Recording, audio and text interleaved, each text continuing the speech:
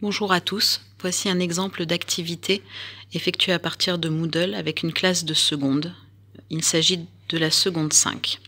Donc je me rends sur l'espace qui leur est dédié.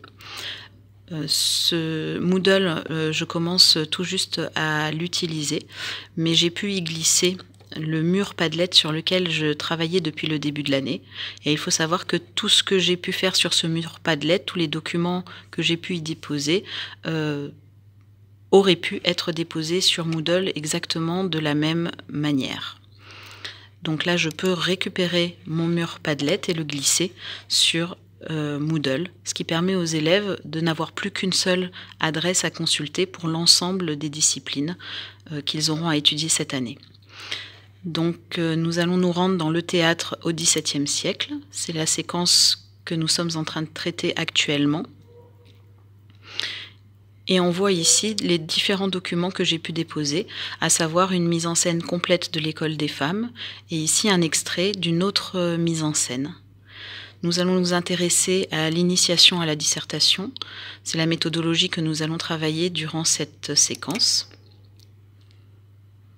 Donc j'ai pu déposer hier un document PowerPoint avec de la méthodologie et des activités pour les élèves.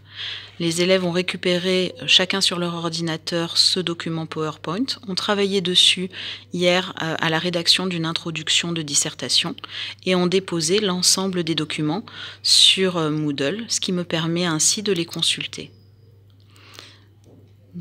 Je vois ici donc tous les documents remis par les élèves. Le premier était absent, donc le travail n'a pas été remis. Et euh, je peux ainsi consulter chacun des euh, travaux de mes élèves. Je peux les consulter euh, en les téléchargeant intégralement sur mon ordinateur, mais également en les regardant les uns après les autres. Donc ici, je télécharge le document et je peux voir donc le travail exécuté par l'élève. Je peux corriger son travail directement sur cette présentation, l'enregistrer et ensuite remettre ce document à disposition de l'élève sur Moodle.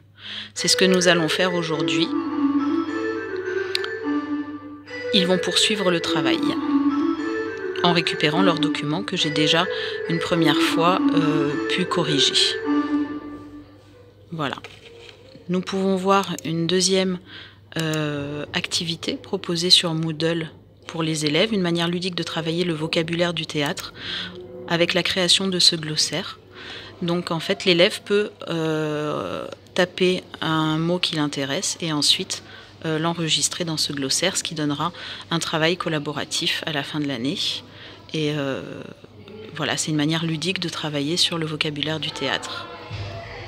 Merci.